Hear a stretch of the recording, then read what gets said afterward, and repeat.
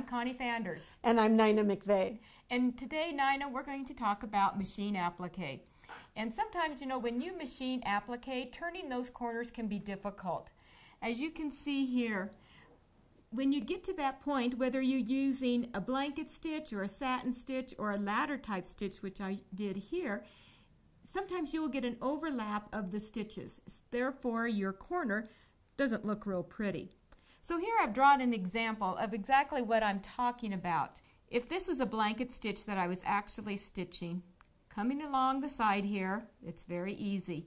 And then I get to the point here where I want to drop my needle and pivot my fabric.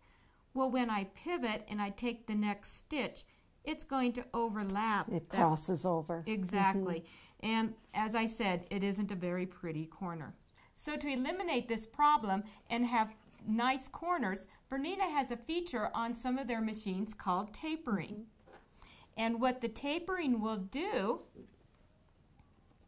the tapering stitch, you see how it tapers the ends here? So as I pivot my fabric, and I go around the corner, those stitches match perfectly and I don't have that overlap. So I'm going to show you how I did the tapering mm -hmm. stitch, but before we go to the machine, let me talk a little bit about how I prepared my fabric for the pillow. When you applique, typically you want to put a stabilizer on the back of your fabric. And on this project, I decided I didn't want to have mm -hmm. that heavier stabilizer on the back. So what I chose to do is I first started with a product called Terial Magic and I sprayed it onto the top of my fabric. And what this does, it's, it's like a, a starch, mm-hmm. basically, mm-hmm. and it, it um, replaces a stabilizer underneath your fabric. So it gives you the stability that you need when you're appliquing so you will not have those puckers. Very nice. Then also on the back of my fabric, I chose to iron on a fusible fleece. And again, what I used here was a product from OESD, the fusible fleece, and it just irons onto the back of your fabric, again, just to give it some stability, yes, yet it is still very soft. Does not add any stiffness to the pillow. So to begin with, I am going to measure the one side of my hexagon, which is 37 millimeters. Then I go to my machine and I will select the tapering program and there is a variety of stitches that you can use for tapering. I'm going to use stitch number 1422. I then go into the information tab and I am first going to tell the machine that I want the hexagon shape.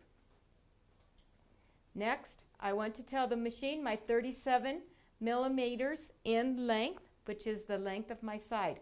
I can simply move it up or down, but I want 37 millimeters. Then I'm going to make sure that my needle will stop in the down position.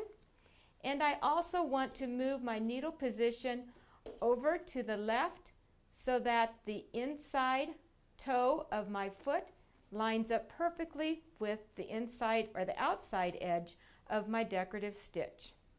To begin to sew, I'm going to lower my foot and position my fabric so that my needle is going to drop right down into the corner of my hexagon. And then I will begin to sew. And you can see it sewing at a tapered angle to begin with. The machine will sew the decorative stitch that I have chosen until it gets to the 37 millimeters in length and then it will automatically stop. I put the machine with the needle in the down position so then I simply pivot my fabric and I do the next side.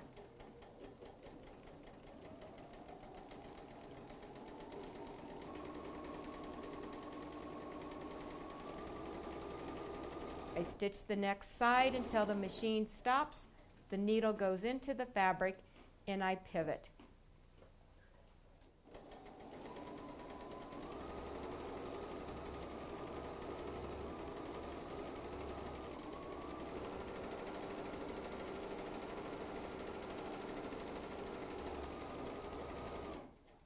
I'm so happy with this tapering stitch that Bernina now has in the machine. It's perfect on almost any shape. It is, and that's why I love it so much too.